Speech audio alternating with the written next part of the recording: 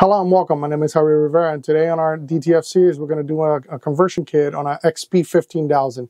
Um, this is going to also include an external waste tank, so I'm going to guide you guys through the process of doing the external waste tank, um, doing removing the rollers for the DTF conversion, um, and and all that. However, I already unboxed the printer to speed up the the video, so just make sure that you have your stock um, inks already put in there, that you already did the initialization, that you already um, did the alignment of the of the print head, and did all the startup normally that you're going to do with a printer. And that's when we're going to go ahead and start. So anyway, without further ado, let's go ahead and let's get started.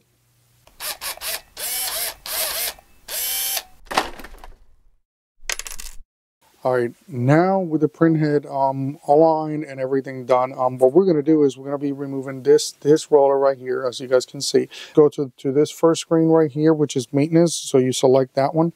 All right, and then we're going to go to print head cleaning. So we're going to go down one, print head cleaning, and then what it's going to do is um is going to move this. Now what I'm going to do is I'm going to remove the power as soon as this one moves to be able to unlock it. So we go to print head cleaning. And then what we're going to do is, again, we're going to remove the power as soon as we see that printhead move more to the left.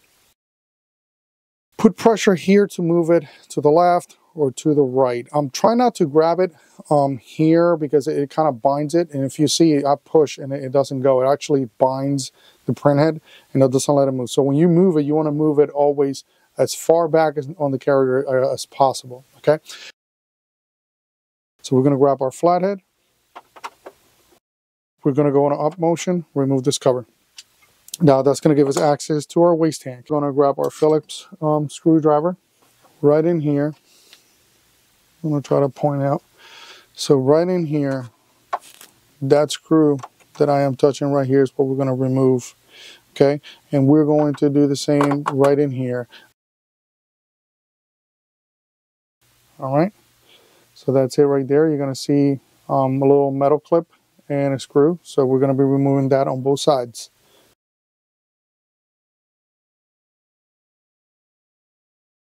I am going to be lifting this side um, and I'm going to break pretty much the plastic and bend the piece of metal. So um, also there is a spring there. Forgot to mention that. So this, this little spring right here um, is keeping it down. So that part, um, you can either just pull it up, just pull it straight up. Um, so now we're going to grab this and we're going to bend it until, until we break it. And when you bend it, that's how much you want to be able to remove. All right, so now that we did that, um, we're going to grab this metal tab and we're going to flatten it out and just pretty much straighten it out. There's this, this tab right here. Just right there and lay it flat, okay? Um, and then you go this way. Now, don't be afraid because your print head is literally um, pretty much from the gray to half of the yellow. This square right here is where your print head is at all right? So this portion right here is nothing but plastic on the bottom. You're not going to be you're not going to scratch the print head okay? Your print head is here. So um, pretty much anywhere where these rollers are and anywhere that those rollers are is, is, is a free game. Um, just be careful not to damage the plastic. But you are not going to damage the print head okay? So and then now same thing on this side. We're going to lift up and you're gonna hear you're gonna hear those those clips um, go. And there's a spring right here that is gonna come out right here on this corner. That spring is gonna come out. So what I do is I put my finger here so it doesn't fly out and then I just pull straight up. And now I lift and I bring it out straight up. All right the other thing is I want you to see the tab. So this plastic tab right here it goes on, on, on pretty much a groove and that's what's holding it on place. So that's what we had to do on this side. So this side, if you see this one, we flatten this side out to allow us to just have that straight pull because if not, it has to go straight up and you don't have a space because of the print head. So that one, you always have to break it. Um, the way that this is actually in there, I'm going to try to bend it back. So now, as soon as you see it, see? So now that's how it actually was originally inside the print head. Right, and then what we did is pretty much that piece of plastic, and now we broke this off, right? and then now we grab that piece of metal and we flatten and straighten that out as much as possible to allow us to pull it pull it straight out. All right. So now um, to remove this side cover that I have right here to remove that side cover and access where we're going to be doing um, everything I need to remove this piece of plastic right here so if we remove this Phillips screw right here so just remove this right here. Now what we're going to do is this side we're going to lift this corner up a little bit. So right here we're going to go up and then the baby comes out right? We're going to be removing this Phillips right there.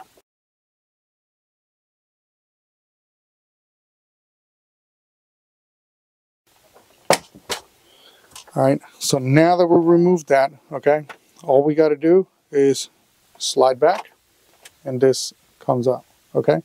I'll drill a hole right here, right on top of the power wire. That way my waste, my waste um, hose is going to come out through the back.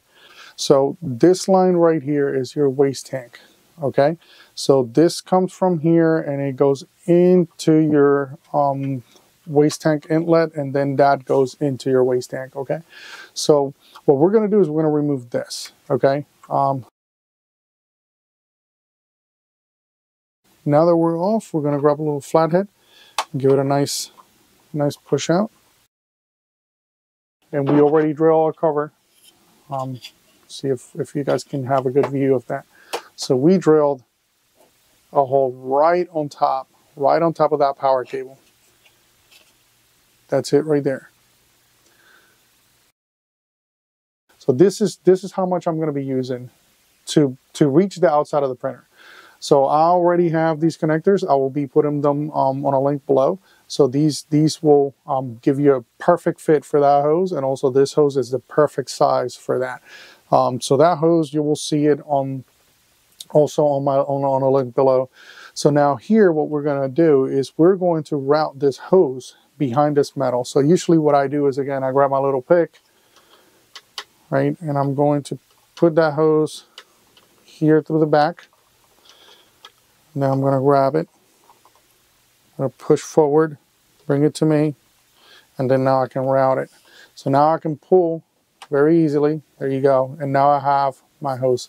If you want to put a wire tie, if you want to grab the little the little clamp that I have in my hand right now, put it here and then, you know, put your connector and put the clamp. Um, it's up to you. You have plenty of space. Now I can tell you it is not going to come out. Um, so feed this through here. Okay. So we're going to feed it through um, this little plastic cover for the for the power and we're going to go through there and then we're just going to pull it straight. So what we're going to do is we're just going to put a little bit of tape right here and we're just going to hold that hose right there. When you're putting these covers back, um, what you got to make sure is that you are right here on this line. We're going to feed our hose. So we're just going to pull that through. We're going to just um, make sure that this is aligned, right? This baby is going to go right there on the clip. It's a line here on the bottom. There's another clip right here. So here, clip, here, clip. You're to make sure that they go in. And after they go in, you're just going to push forward and that's in place. Okay. Now we can make sure that this baby's snug. Okay. And that's it. That's as much as I leave because then what I do is then I put another connector and then I go ahead and run my hose to my tank. So now we're just going to do reversal.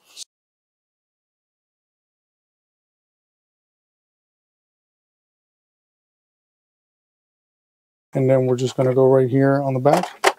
Go in. Perfect. Now we're going to put our screw here our screw here. And we're done. Our external waste tank is complete. A little little piece of hose that that has been used already. So then what I'll do is like I said um, I'm gonna go here and then I go ahead and, and splice put the splice right there. And now I can I can use this hose and, and bring it to to my tank um, and then do do anything. You know, you can go as long I have them. I mean, I, I had them before where literally it runs behind the desk into the floor into somewhere completely away. Um, you know, but also accessible because when you want to clean your cap, I will show you guys in another video. Um, you want to have access to that.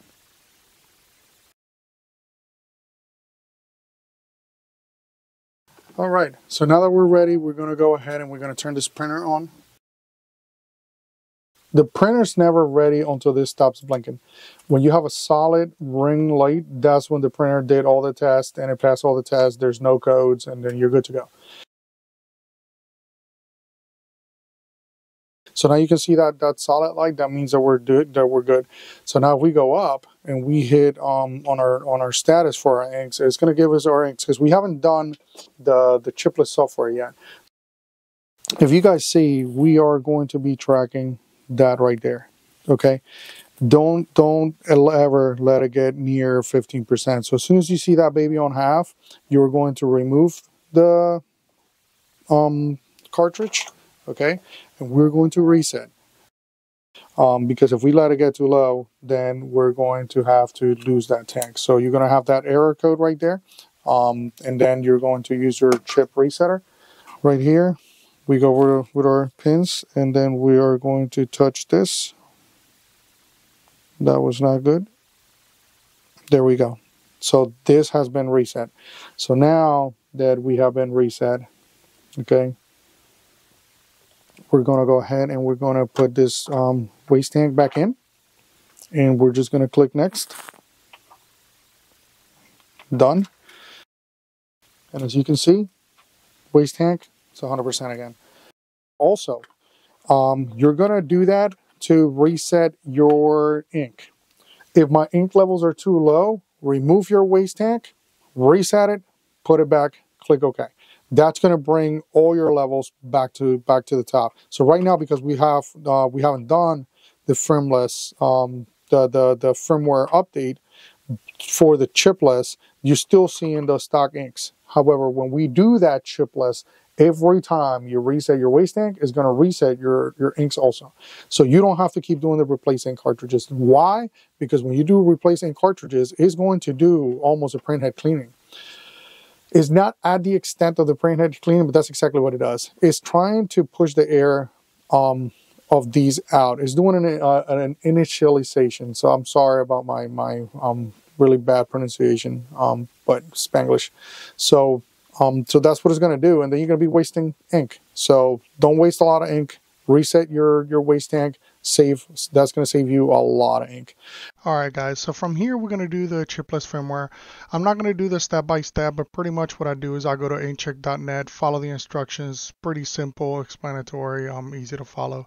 Now the one thing I do want to mention um, is before we go ahead, um, we want to make sure that we install the drivers, that we go to epson.com and that we download just the drivers. There's a lot of people that download the whole packet. I just want to, I, I like doing the drivers and that's it. Um, now if your drivers are not correct, the best way to do is go to your start. Um, you go to your printers and scanners. Um, from there, find your Epson XP 15000. Um, you're going to click on Manage. Um, you go to Printing Preferences, and if you see something like this, where it, where it looks kind of like just small and tiny, um, you don't have the drivers installed. Now, if it looks like this, you do have it installed. And what you want to do is you go to maintenance, you go to extended settings, and you're going to remove the enable Epson status so it won't stop you from printing midway. That is something that you always have to do on these printers. Otherwise, it's gonna it's gonna mess up with your um, with your software. And I always uncheck reduce print data and everything. I just uncheck everything. I never had an issue. So that's just one thing that you want to do. All right, guys. So here we go. Um, just to be a quick one on, on this step. Um, all we're to do is to stop the firmware updates. That way you don't get messed up. So we are going to um, go into settings. Um, and we're going to go all the way down until it says firmware update. Okay, and notification we're going to go off. It's just that simple. Okay. Um, so then that way you don't risk um, doing an update and then losing your, your chipless um, firmware. All right. So there you have it, guys. Pretty straightforward conversion kit. Um, very easy to do, very accessible. It's very easy on the newbie or that person that is just getting into DTF. So I'm going to be posting a couple of things later on. I'm going to be adding some more things for the XP 15000 into my channel, how to do maintenance, a couple of tricks, hints, and, and what to do, what, um, what things to do, what not to do.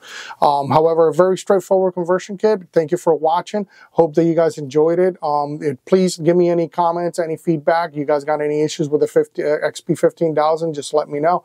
Put put down in the comments and don't forget to subscribe. And thank you for watching.